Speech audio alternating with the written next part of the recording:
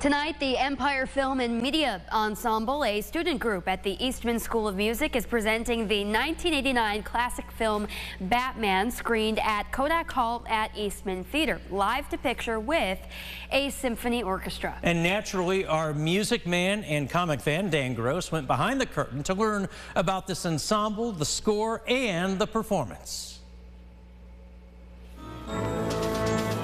Empire is just a really unique thing that most cities don't have.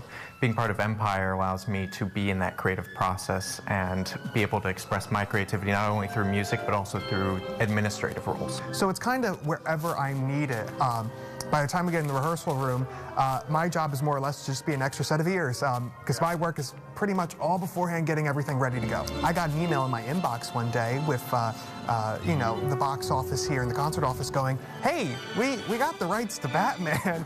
Are you guys interested in doing it? And I think my response was, yes, absolutely, when? so make sure you really get it to me. I love this movie when it came out in 1989. I love the score.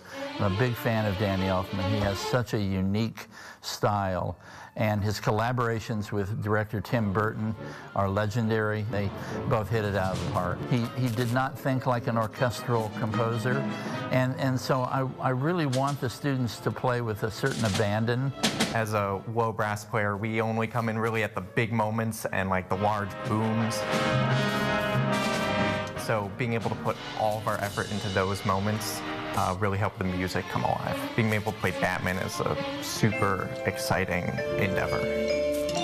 If I want people to come to my concerts, I'm going to put in as much effort as I can. The fact that we have people coming in from the community means a lot to us.